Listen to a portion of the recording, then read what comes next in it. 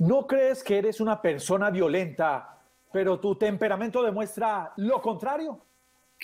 ¿Sientes que amas a tu pareja, pero a veces también sientes que la odias? ¿Te consideras una persona quizás un poco temperamental? ¿No quieres herir a tu familia, pero a veces sientes enloquecer? Entonces, estás en apuros. Bienvenidos.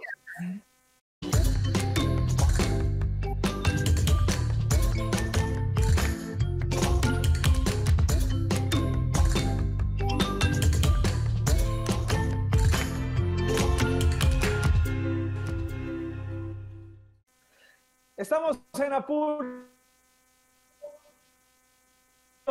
y hoy, así desde la virtualidad, queremos conectar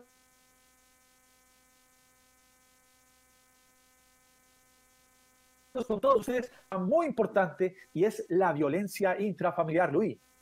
¿Cómo estás, Juanpa? ¿Cómo están todos ustedes? Gracias por estar conectados a esta hora en Apuros hoy para hablar de ese tema que por estos días se ha agudizado no solamente en nuestra ciudad también, sino en todo el país. Y, no queremos que esto pase y por eso en apuros hoy queremos hablar de este tema para no solamente para educar frente a este tema para que no pase en nuestras familias, sino también una forma de apoyo para esas mujeres u hombres o niños que están viviendo y pasando por esta situación tan difícil y que de pronto no saben qué hacer. Aquí hoy en Apuros vamos a tener a nuestra especialista y también a una eh, persona muy especial para nosotros, que es Selma Patricia Roldán Tirado, ella es directora regional eh, Antioquia del Instituto de Bienestar Familiar, eh, que también nos va a regalar esas líneas de atención para que todas las personas conozcan eh, dónde encontrar ese apoyo y esa ayuda, Juanpa.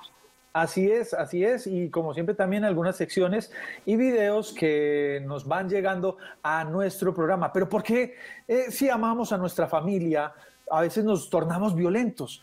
Porque si estamos con nuestro grupo sanguíneo, eh, con el cual compartimos y vivimos muchas experiencias, a veces se nos sale ese Hulk, se nos sale esa vena brotada, nos volvemos rojos, manoteamos, gritamos y hacemos tantas cosas. Pues eso es lo que desarrollaremos hoy también con nuestra invitada experta y esperamos que ustedes participen con nosotros marcando eh, sus mensajes a través de la línea de WhatsApp 304-598-9068 para que estén muy, muy, muy pendientes. Ahí le vamos a poner entonces el, número que está en pantalla y donde ustedes también pueden hacer parte de la tribu de WhatsApp. ¿Qué, qué se hace en la tribu, Luis? ¿Tú qué crees? ¿Qué crees que hacemos en la tribu, Luisa? Compárteles. tribu compartimos experiencias, compartimos videos, compartimos textos o lecturas que de pronto eh, nos hayan gustado, nos hayan parecido interesantes, pero todo es en torno a la familia y al cuidado y al entorno protector de nuestros niños, Juanpa. Así, es. Así es.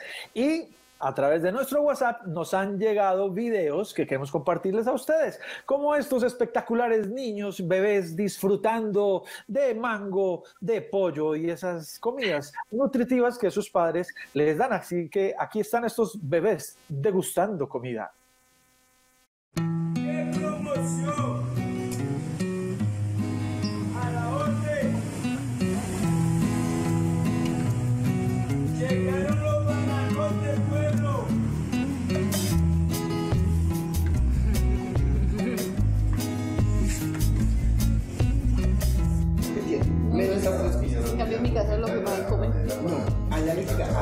La leche no se toma ni el dulce y pan se compra porque nos trajeron el pan. Qué rico.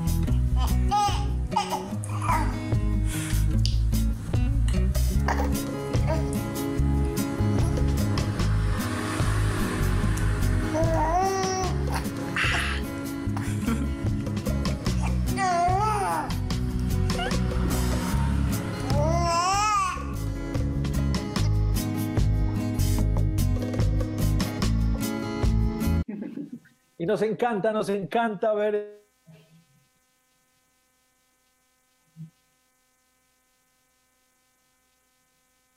Están llegando a través de nuestra cuenta en WhatsApp 304-598-9068.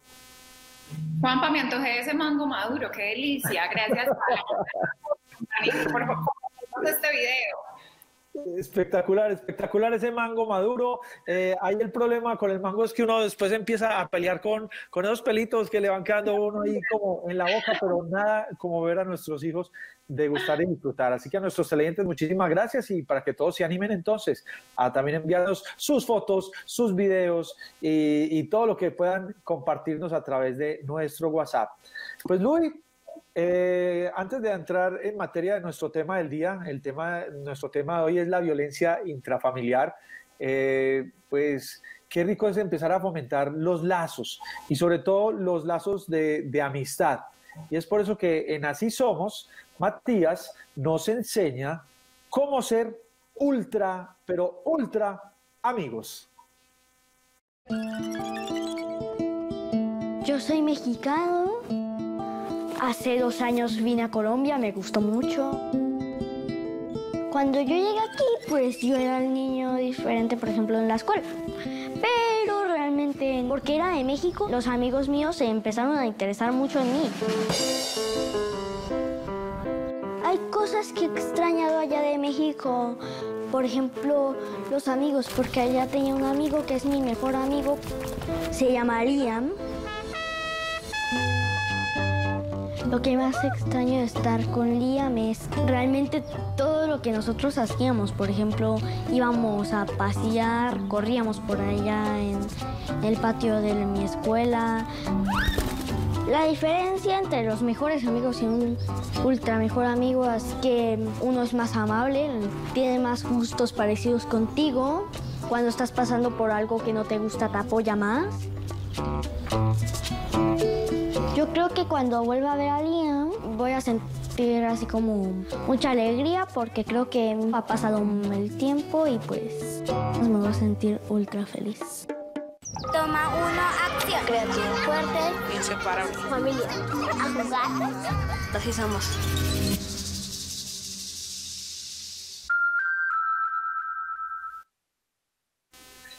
Y así somos, ultra amigos. Tenemos que conservar nuestras amistades, hacer que nuestros valores se proyecten hacia otras personas y de esa manera, pues nosotros vamos formando también sociedad, así como nos lo ha enseñado en estos momentos Matías.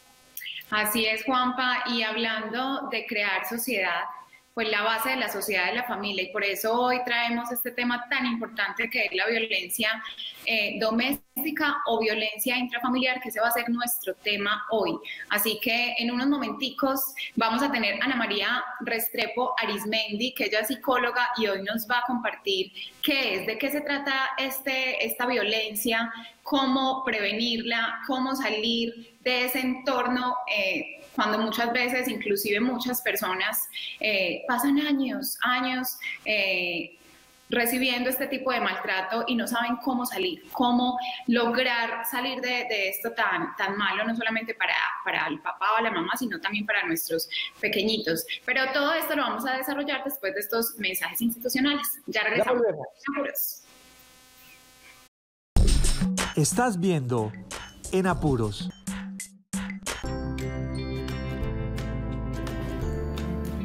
Hola, este es un saludo para el programa En Apuros. Mi nombre es César Corredor, trabajo en Sábado Felices.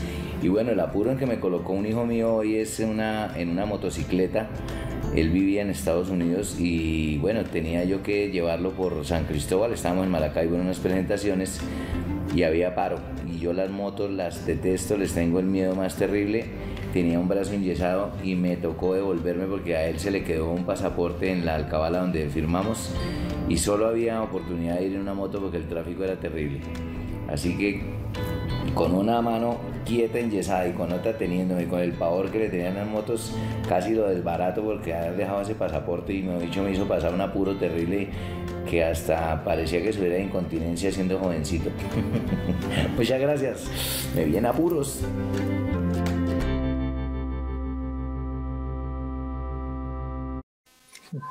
Estamos en apuros y veíamos entonces a César Corredor compartiéndonos el apuro que tuvo con su hijo y, y, ahí vemos que los famosos también tienen algunos momentos que no saben hacer absolutamente nada frente a la situación que se les presenta. Pues bien, Luis, hoy eh, ya tenemos que entrar en materia. hablar entonces sobre lo que nos concierne y lo que hemos convocado hoy en Apuros y es la violencia intrafamiliar. Así es, Juanpa, y tenemos ya con nosotros a la psicóloga Adriana Restrepo Arismendi, ahorita dije Ana María, perdón, hago la corrección. Adriana, bienvenida, gracias por acompañarnos. Adriana no solamente es psicóloga, sino también magíster en psicología de la educación y docente, investigadora y coordinadora del Laboratorio de Psicología de la Fundación Universitaria María Cano. Gracias de verdad por acompañarnos hoy en Apuros y más para hablar de este tema que por estos días se está sufriendo tanto en nuestra ciudad. Muchas gracias a ustedes por la invitación, Juan Pablo y Luis. Muy bien, muy bien, Adriana. Entonces, eh, pues para empezar, yo quisiera preguntarte, ¿en qué consiste la violencia intrafamiliar? O sea, ¿por qué se da la violencia en medio de personas que se aman, personas que comparten todo el día y que seguramente han vivido momentos muy felices, pero que llega algo y los dispara y hay gritos, violencia y demás?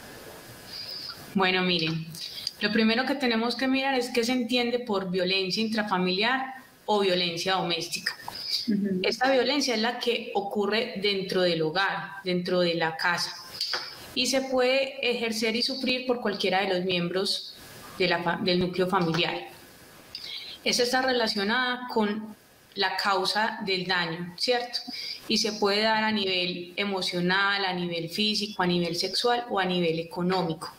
¿Por qué se da? Hay múltiples factores que a lo largo de la entrevista vamos a, desarrollar, pero tiene que ver mucho con algunos rasgos de personalidad, tiene que ver también con las expectativas que generamos para ingresar a, a, generar esa nueva familia, ¿cierto? Y también porque finalmente hay unas relaciones de desigualdad donde en algunos momentos se genera poder y esto pues genera un factor de riesgo en la pareja. Así es. Adriana nos estaba mencionando algunos tipos de esa violencia. Contémosle a todos los televidentes para que les quede claro, porque muchas veces decimos, eh, no, él no es violento, pero resulta que desde que entra a la casa es mirando feo a su pareja, eh, poniéndola como un cero a la izquierda, como decimos. Contemos cuáles son esos tipos de violencia para que los identifiquemos fácilmente. Claro que sí, Luisa, mira. Está la violencia emocional o la violencia psicológica donde se ejerce un control sobre las conductas de la otra persona con la finalidad de coartar sus decisiones, con la finalidad de que haga lo que finalmente nosotros queremos y esto se puede dar por dependencia emocional. Es muy importante entender que hay comportamientos de amenaza, de humillación, de de confrontación contra lo que nosotros queremos. Les voy a poner ejemplos. Hay unas que se dan contra la persona. Contra la persona, por ejemplo, nosotros podemos ver cuando nos hablan, por ejemplo, si estamos bonitas o bonitos, porque también tenemos que entender que aunque hemos hablado muchísimo de la violencia de género e históricamente se ha hablado mucho de la violencia contra la mujer, pues también por esos cambios de rol que hemos tenido en la sociedad, evidenciamos que también hoy es una realidad que hay violencia contra los hombres, ¿cierto? Entonces, indistintamente del género, nosotros, por ejemplo, podemos aludir a características personales del otro, si es bonito, si es feo, si finalmente por ser bonito entonces sentimos celos y nos da miedo que de pronto nos vayan a dejar, entonces la persona puede sentir la necesidad de controlarnos de no permitirnos tener amistades o, salir en el entorno, poder triunfar en la vida y, y, educarnos por miedo al abandono, ¿cierto? Entonces, esa es una forma en cuanto a nosotros como persona, que nos pueden controlar o que también puede haber una humillación para generar esa relación de poder. También hay un asunto muy importante en esa relación conyugal que podemos encontrar que hay una no disponibilidad para el diálogo, una anulación hacia nosotros como persona. Y esto se da porque, pues, como si no logran controlarnos, hay una amenaza emocional, un castigo emocional como efecto, como consecuencia de no hacer lo que el otro está esperando. Hay otra forma de castigo o de violencia donde se genera una violencia directa hacia nosotros delante de nuestros hijos, ¿cierto? uno de los padres puede violentar al otro delante del hijo como castigo, porque no es porque el hijo hizo algo, sino por una forma de castigarnos a nosotros y el problema es Por que... Por el amor que le tenemos a esa persona, perdón. Exacto, Entonces, el problema ahí está en que eso tiene unas consecuencias emocionales para los niños. Los niños pueden empezar a presentar temores, aislamiento, estrés, también van a repetir esa agresión en su entorno cercano que puede ser en su mismo contexto familiar, también se vuelven agresivos o en el entorno escolar. Muchas veces no entendemos por qué encontramos niños que son agresores, que hacen bullying, o niños, por ejemplo, que practican eh, autolesiones, donde se cortan o donde en algunos momentos eh, manifiestan tendencias al suicidio, que finalmente el suicidio termina siendo la máxima expresión de agresión contra nosotros mismos y se da muchas veces por ese entorno de agresividad dentro del hogar. Esos son algunos ejemplos o algunas conductas que podemos evidenciar desde el maltrato psicológico. Y esto también tiene relación con algunas características, algunos rasgos de personalidad de la persona que es agresora. Hay personas que son muy dominantes o que tienen algunas características de personalidad que aluden a algunos trastornos emocionales y eso es lo que lleva a que practiquen esa agresión. Hay otros tipos de, violencia, como eh, la violencia física, donde hay, hay golpes, hay empujones, donde hay lesiones específicas que eh, generan pues este tipo de violencia física y que también se eh, hila con la violencia sexual, que es donde finalmente nos obligan a generar eh, relaciones sexuales a la fuerza o interacciones sexuales, todo con tal de mermar nuestra voluntad personal. También hay otro tipo de violencia, que es la violencia económica. En la violencia económica es cuando eh, la persona que agrede eh, generalmente pues tiene una persona que puede tener una dependencia económica con él y genera comportamientos donde merma como esas necesidades, esas suplir esas necesidades básicas de, de, la familia o de la persona, que hace que termine accediendo eh, su cónyuge a lo que él quiera. Pero en, en esta situación también encontramos que, por ejemplo, eh, nos pueden quitar herramientas de trabajo, información personal, para coartar nuestra voluntad y que podamos acceder finalmente a lo que el agresor está queriendo. El chantaje. Exacto. Juanpi, ¿nos escuchas? Bueno, aquí yo tengo aquí como un problemita de, de, conexión con el audio, pero interesante ver que hay diferentes tipos de violencia. O sea, siempre nos remetimos a, a los golpes, pero ahí vemos con lo que nos comparte Adriana que también pueden ser eh, económicos, verbales, emocionales. O sea, son muchos los tipos de violencia que se pueden ejercer en medio de, la familia. Eh, ¿Cómo podemos hacer, Adriana, eh, frente a, a esta situación que se presenta al interior de la familia? ¿Uno cómo puede controlar ese temperamento? ¿Cómo puede llegar a controlar esa situación, esa circunstancia? Eh, eh, eh, ¿En qué radica que, se explote como de esa manera? A veces, pues claro, siempre pensamos es en la víctima, en quien recibe el golpe, quien recibe este maltrato, pero digamos que la persona que, que, maltrata, pues también tiene una necesidad, también tiene una falencia, o me equivoco. No, mira, realmente pues hay una situación específica y es que hay diferentes etapas por las cuales se pasa para poder saber en una familia que hay violencia intrafamiliar desde los mismos miembros del hogar. Porque finalmente eh, en el miembro del hogar hay diferentes ciclos en esa violencia doméstica. Recuerden que cuando nosotros eh, ingresamos a generar una, un lazo, una alianza con el otro, pues es una decisión que nosotros tomamos basados en un ideal que tenemos sobre el otro. En ese sentido, ese ciclo de violencia lleva a que nosotros podamos tener a corto plazo o a largo plazo unas conductas que nos llevan a poder empezar a entender cómo sucede. La, la persona que eh, sufre ese tipo de, de, violencias, pues inicialmente tiene una renuncia frente a sí mismo porque ni siquiera se percata del abuso, ¿cierto? Es, está en ese momento como de, de, confusión entre los aspectos negativos que está viendo de la persona que ama, pero que además es violenta, y eh, luego están esas conductas o esos aspectos que se habían idealizado sobre la persona que amamos. Y siempre conserva la esperanza de que todo va a poder ser mejor, ¿cierto? Porque eso es una característica puntual, que creemos que todo va a ser mejor y que la persona va a cambiar.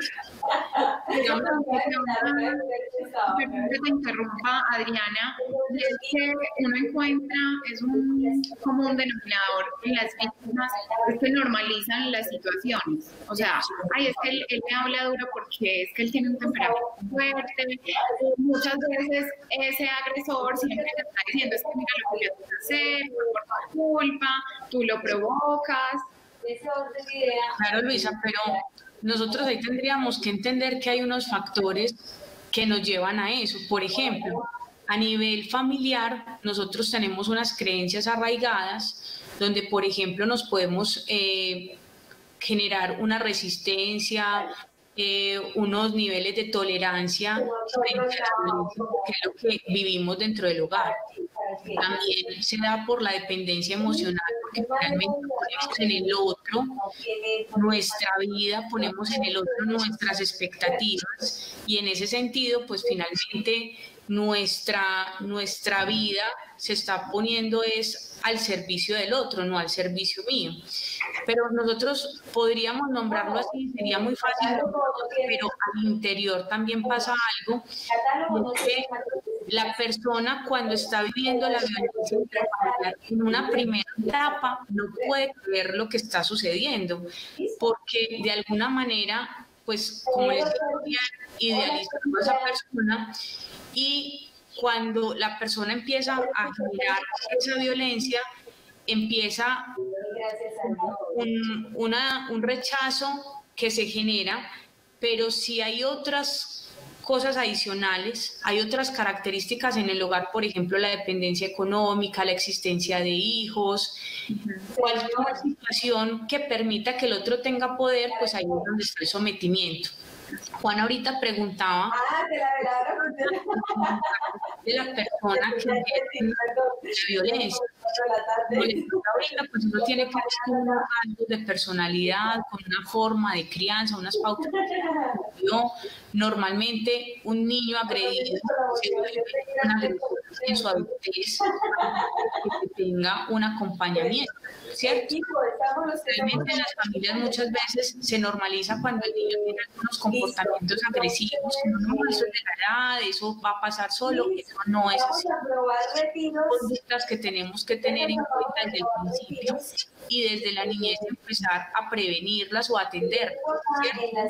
Ya en la adultez es más difícil aceptarlo porque de alguna manera la frente a las necesidades del otro, cree que lo que está haciendo está bien.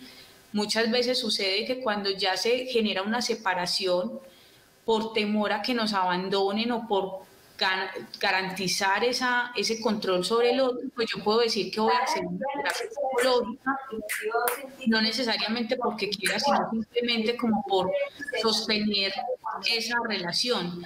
Pero generalmente la, el no es el que llega a la situación de terapia, a una solicitud de acompañamiento terapéutico, sino que normalmente cuando ya se da ese choque, ese desequilibrio, esa separación en la pareja, es donde la persona agredida pide ayuda y en ese pedir ayuda muchas veces el acompañamiento permite que realmente se haga una intervención sobre la persona que ejerce la violencia.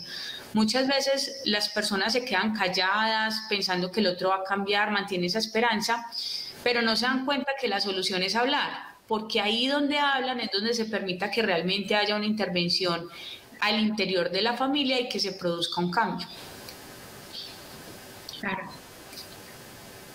El tema se nos eh, pone cortico. Eh, este, eh, la virtualidad nos lleva a que interactuemos muy poquito, Adriana. A manera de, conclusión, porque pues el tema continuará ya con otra invitada que tenemos del Instituto Colombiano de Bienestar Familiar frente a a dónde acudir en caso de presentarte esta violencia, pero desde tu parte profesional, desde, desde tu parte como nuestra primera invitada, para concluir esta primera parte, ¿qué mensaje podrías llevarle tú a las familias frente a este tema? Bueno, yo creo que en este momento, en este contexto específico, es muy importante hablar de la violencia en el tema del confinamiento, porque en este momento estamos viviendo unos niveles muy altos de estrés y eso ese nivel de estrés se da por los cambios en los roles, por el incremento de los mismos, porque a veces tenemos que trabajar y ejercer las funciones de la casa, hay mayor nivel de tiempo de trabajo, de dedicación. Eh, adicionalmente se nos suman las actividades escolares, se nos genera una incertidumbre de lo que va a suceder, hay un mayor nivel de tiempo juntos que no pasábamos en la cotidianidad porque finalmente cada quien tenía sus momentos y hay menor tiempo para, para sí mismos. Entonces, en ese sentido, yo creería que es muy importante no continuar naturalizando la violencia. Es muy importante minimizar esos niveles de, vergüenza, de estigma cultural, de miedo a la crítica.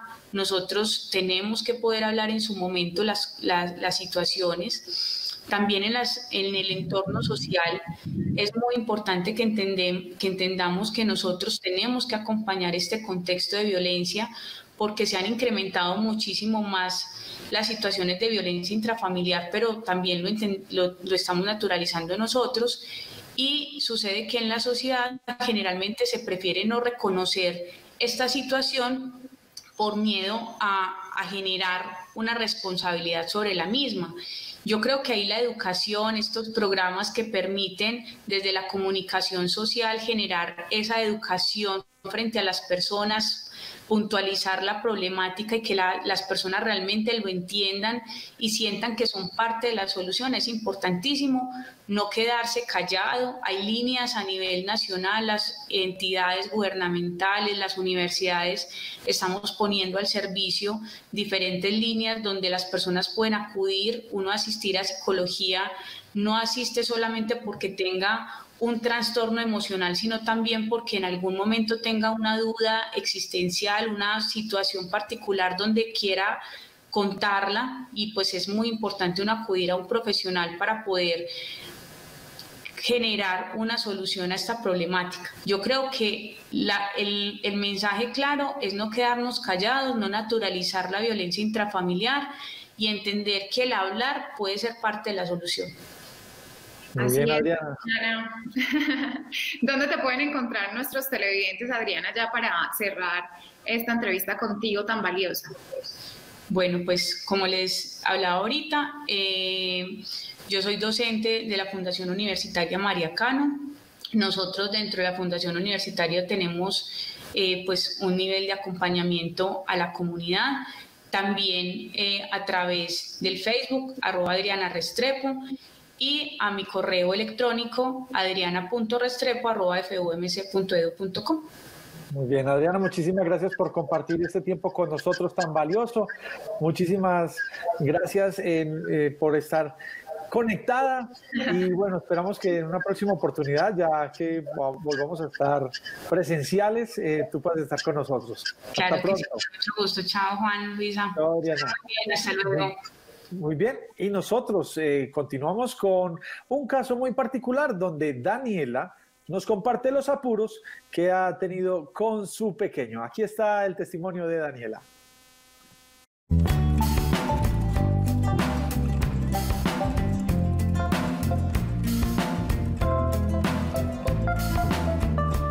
Buenas tardes, mi nombre es Daniela Sánchez, eh, mi familia está conformada por mi esposo David y por mi hijo Samu que tiene dos años pero está pronto a cumplir tres.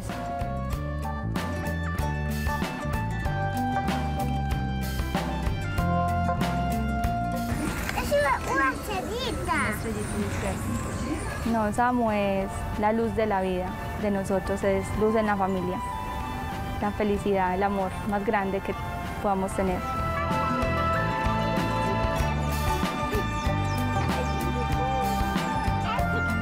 Con Samu me pasó una vez que estábamos en el parque Sabaneta, en uno de los nuevos parques, que es el de los cuatro elementos, entonces ese día íbamos solamente al arenero y estaba haciendo mucho calor y le dio por meterse a los jueguitos, pero yo no iba preparada a llevar, llevando ni ropa, ni, eh, ni toalla, ni nada, y él se metió y se mojó todo, todo, todo, pues ya estaba anocheciendo me tocó quitarle toda la ropa y llevarlo en pelotica para la casa, tapándole la nalguita y todo, porque ya de pronto se resfriaba y se enfermaba.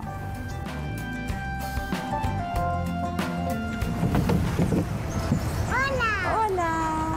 Uno piensa se va a enfermar, se le va, le va a dar tos y, y siempre vivía un poquito lejos y mientras que llegaba mi esposo y había mucho tráfico, ay no,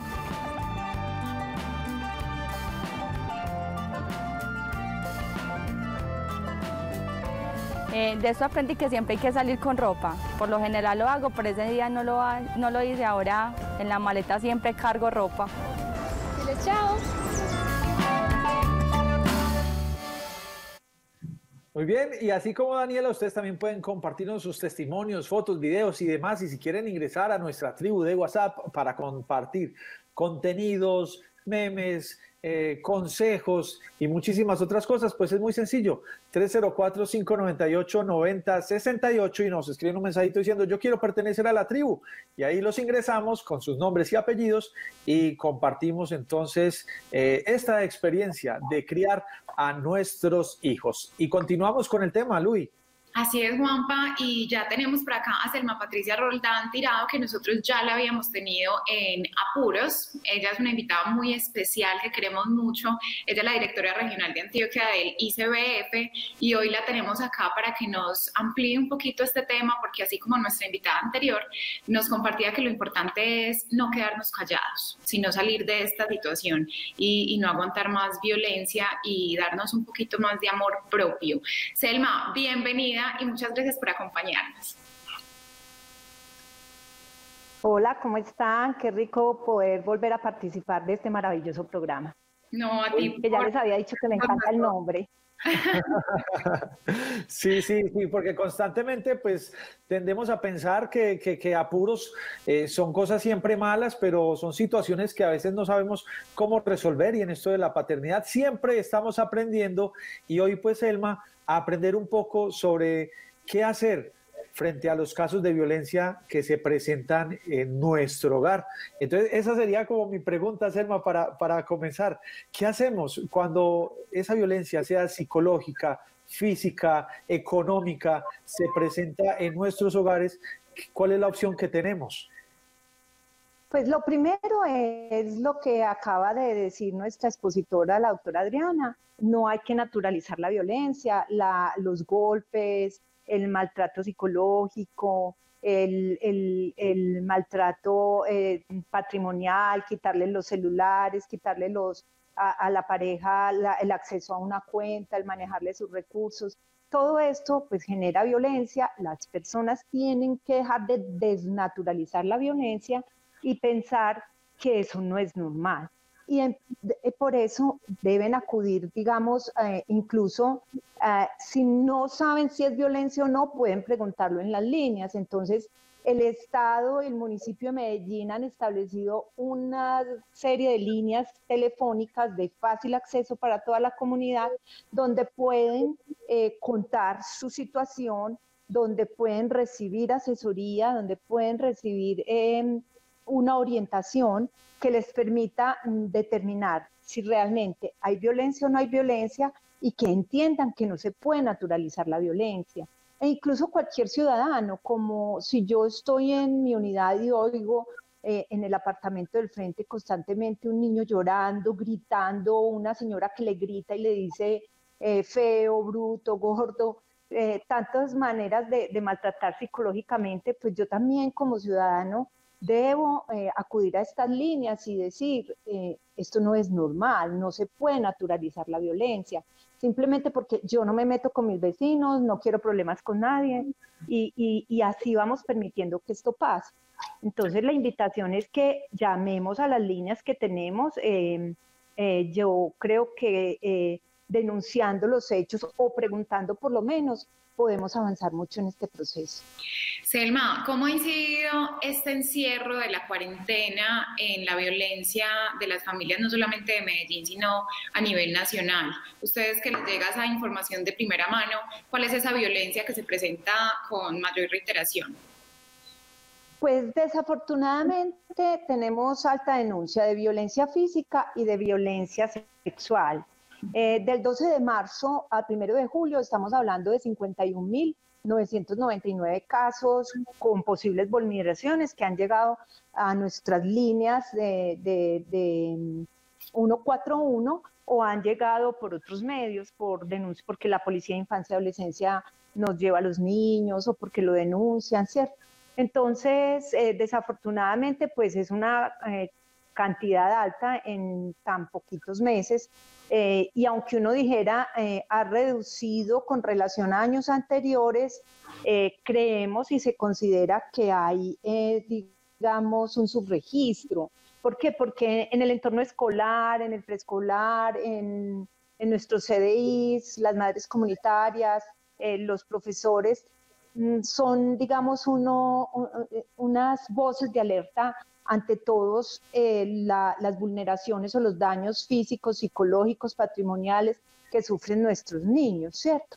Entonces eh, puede haber su registro. ¿Por qué? Ah, porque es que está en mi casa, yo estoy encerrada y, y, yo a mí yo hablo así, yo hablo duro, a, eh, a, mí no, a mí me educaron pegándome, entonces yo también le pego a mis hijos y, y se va volviendo, digamos, como un paisaje, uy, no, qué, qué, qué rollo, qué pereza, eh, todo el día este niño brincando encima de mí o, el, o el, adolescente escuchando música, todo taco, cómo empezar a, socializar eso en familia y a entender que hay momentos para todo. Em, yo les pongo un ejemplo. Eh, para una persona es normal, em, el niño, digamos, se comió más de lo que tenía que comer y pegarle una palmada pero es ponerse, en la, es ponerse como, hombre, usted le pegaría esa palmada por comer de más a la vecina del frente o a su jefe o a su compañera de trabajo, ¿cierto? Simplemente le diría, no me gusta que te comas eso. Entonces son cosas que uno tiene que pensar y es, si a mí no me gusta que me digan fea, gorda, visca, eh, usted es una tonta, usted es una torpe, yo por qué se lo digo a, los niños o a, o a, las personas más vulnerables o a, los, a las personas adultas mayores, usted es un estorbo. A mí me gustaría que un compañero de trabajo, que mi jefe me dijera, usted es un estorbo, usted es una gorda, usted es muy fea, usted es poco inteligente. Creo que, que no me gustaría y de hecho hay mismo acoso laboral y, y, denunciarían en las asociaciones sindicales o donde fuera, pero porque el niño sí es gordo, el niño sí es feo, el niño sí si se le puede pegar, eh, al adulto mayor también se le puede maltratar y pegar, simplemente porque, porque está dentro de mi casa y yo me creo dueño de esa vida. Juanpa, yo quisiera interrumpir porque Selma nos, menciona un público en específico que a mí me, me, toca el corazón y que yo creo que son pocas las denuncias que se hacen y es el maltrato a los adultos mayores. Eh, ¿Qué podemos decirle a esas personas que de pronto ven que un vecino o que de pronto en un lugar donde cuiden a estas personas, a este adulto mayor, los, los ven violentándolos, maltratándolos, no solamente física, sino emocionalmente? ¿Cómo podemos hacer para que esto no siga pasando? Eh, pues la, en Medellín tenemos la, la, línea 123 social que la maneja la, eh, la, la, alcaldía de Medellín y la Secretaría de Inclusión Social del municipio viene trabajando fuertemente eh, para proteger a los adultos mayores, pero ellos también son víctimas y son vulnerables. Tenemos que, que mm, desde la misma ley está, está prohibida la violencia, eh, digamos, intrafamiliar, desde la ley 1257 de 2008, desde la ley 1098, y incluye a todos los que hacen parte o son miembros de una familia. Entonces, eh, las personas también pueden acudir a, a, las líneas que, por decir, el, en, la, en, la, policía, eh, la policía de Medellín tiene la línea 1, o la Policía Nacional tiene la línea 123. Uh -huh. La Fiscalía General de la Nación tiene la línea 122, que es para toda violencia intrafamiliar, violencia de género, violencia sexual contra niños, niñas o mujeres o, o, o personas vulnerables, ¿cierto? que es la 122.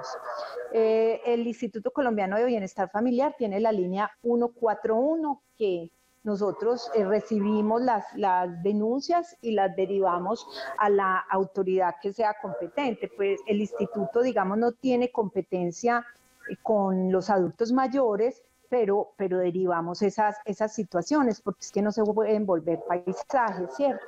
E, igual eh, está la línea de la Consejería de la Equidad para la Equidad de la Mujer y de los Adultos, que es la línea 155, 1555, 155. Sí. Eh, esas son, esas son la, los, digamos que unas líneas de muy fácil recordación. Eh, la ventaja en estas líneas es que usted no tiene que decir el nombre. Yo oigo que al al señor del frente, que es un adulto mayor de 85, 60 años, la, los, los, nietos lo tratan muy mal, o es al revés, ese viejito maltrata a los niños. Yo simplemente llamo, digo, en, digo circunstancias de tiempo, modo y lugar, en tal parte, a tal hora, esto está ocurriendo, siempre pasa, escucho esto. No tiene que decir nombre, no tiene que decir nada simplemente ubíquenos para mandar equipos a constatar esa situación, ya sea que vaya la policía de infancia y adolescencia, si son menores, ya la Policía Nacional o equipos de comisaría de familia o de defensoría de familia a verificar esa situación. Muy bien, Selma, tú acabas de mencionar algo muy importante frente a lo cual muchos de pronto eh, pueden tener miedo de acercarse al Instituto Colombiano de Bienestar Familiar o alguna entidad eh, que pueda atender el caso por miedo a quedar al descubierto, por miedo a, que se revele la identidad.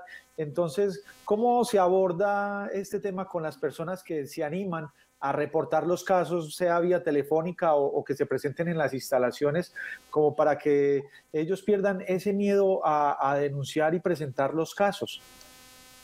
es que la invitación es que todos seamos protectores de los demás, es decir, no podemos naturalizar la violencia. Entonces, si yo veo que hay algo anormal, simplemente lo denuncio, simplemente cuento qué está pasando, no tengo que decir, ve, soy Selma Patricia Roldán tirado, mi cédula está, ta, ta, ta, no, simplemente eh, esto, tengo conocimiento de que en la calle 30 con 85, apartamento tal, eh, hay un niño que todos los días grita, llora y uno oye a la mamá diciéndole vulgue, palabras oeces y oye al papá tirando patadas y el niño gritando. Eh, estoy pues poniendo un ejemplo, sí. eh, que Dios quiera que eso no pase.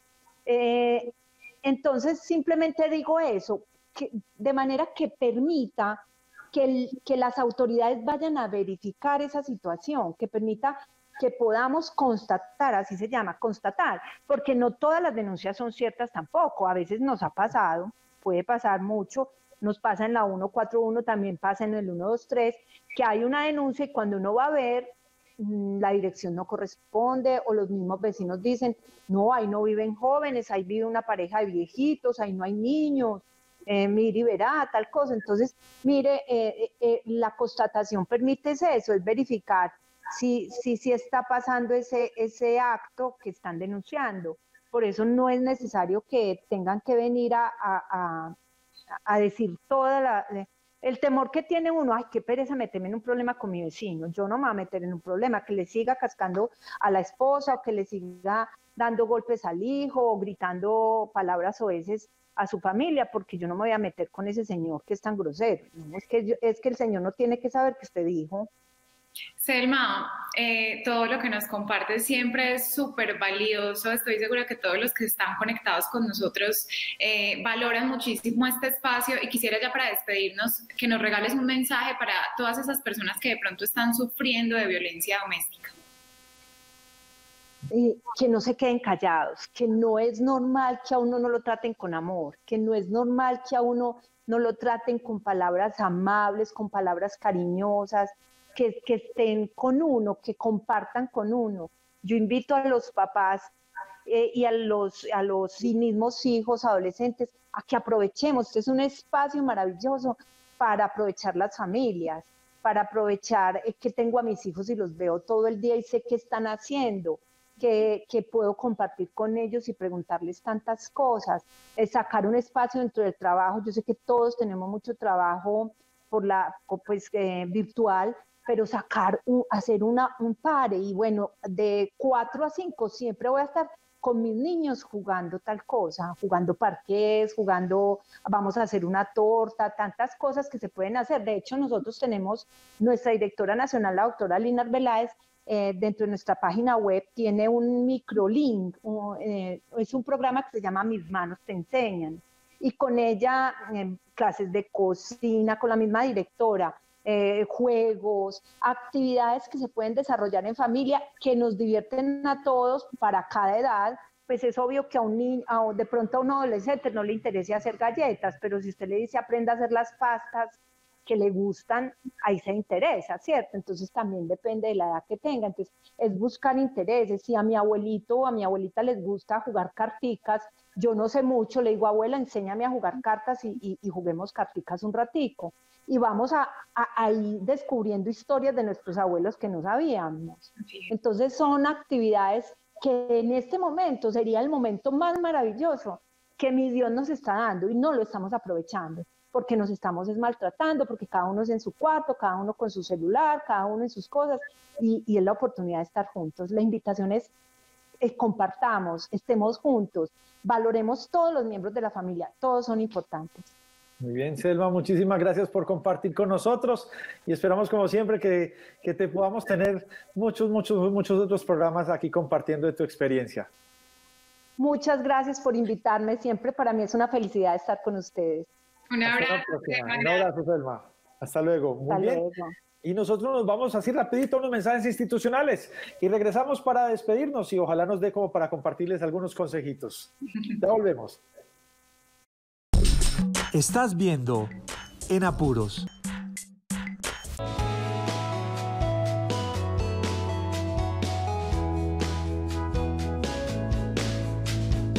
En cada niño se debería poner un cartel que dijera, tratar con cuidado contiene sueños. Marco Badiale.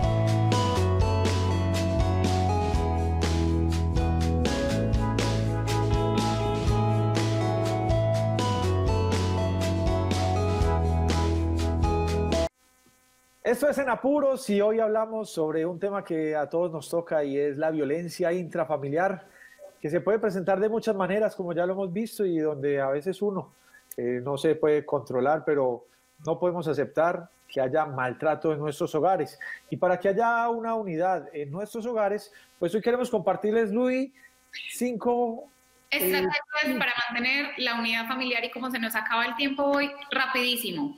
Así es, aquí se las vamos a compartir para que ustedes entonces estén muy pendientes siempre y cuando eh, la tecnología nos permita tener aquí la forma de, compartir la pantalla. Luis, antes de que las digas, pues voy, voy a intentar compartir la pantalla. Ah, listo. Y yo creo que a la una, a las dos y a las tres, ah, dice con entonado acento Luisa. Adelante. Adelante.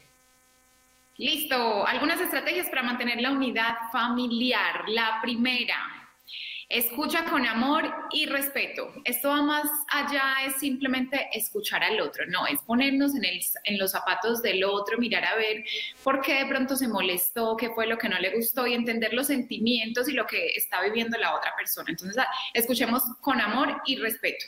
Segunda,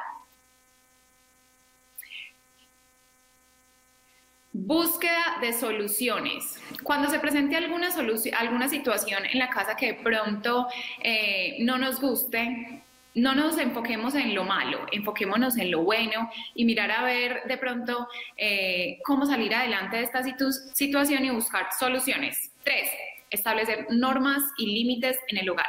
Creemos que esto es una OA, pero créanme, logra reales eh, cosas positivas en la convivencia y en la armonía del hogar. Cuatro, tiempo de calidad. ahorita nos compartía Selma, eh, en soltar esos aparatos y dedicarle tiempo a nuestros hijos, a nuestra esposa. Ahora nos distraímos en muchas cosas y no le sacamos tiempo a lo realmente importante que es compartir en familia. Y por último, Evitar los distractores va con la cuarta, desconectarnos. Estamos muy enfocados en las pantallas y nos olvidamos de mirar al otro, de brindarle un abrazo, de brindarles palabras de amor. Entonces, qué bueno volver a ese contacto visual y a ese contacto físico que por estos días, inclusive estando juntos, se está sintiendo menos. Juanpa, ahí están entonces estas estrategias para, para lograr ese amor bonito en familia. Muy bien, muchísimas gracias a todos ustedes por estar conectados en Apuros y nos vemos entonces en un próximo programa. Chao Luis, chao a todos. Chao, gracias.